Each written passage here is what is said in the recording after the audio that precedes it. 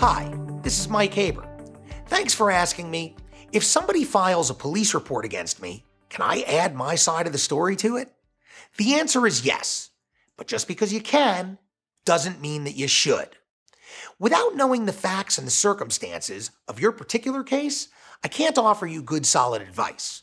But what I can tell you for certain is that there's always risk when you speak to the police. Why?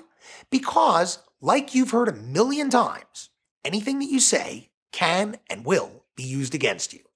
You may think that you're helping yourself by explaining yourself and your story to the police, and maybe you are. But then again, maybe you're not.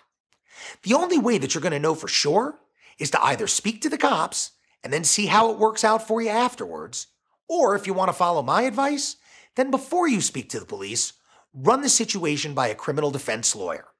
A skilled and trained professional is going to hear you out and then help you to determine what in fact is in your best interests. If it turns out that you should be speaking to the cops, then it should only be done with your lawyer's blessing. And it's probably best to do it with your lawyer at your side anyhow. The fact is, most times, I do not let my clients speak with the police. It's basically a blanket rule. And 99 out of 100 times, when my client and I do go to the police, it's me who does the talking, not my client.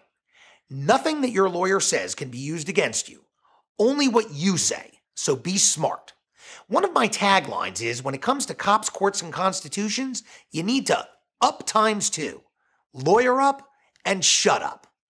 Thank you for your question. I appreciate your having asked it, and I invite you to ask me more. Please remember at Haber PA, it's all about reasonable doubt. And if you like this video, please subscribe. We'll be putting out more soon.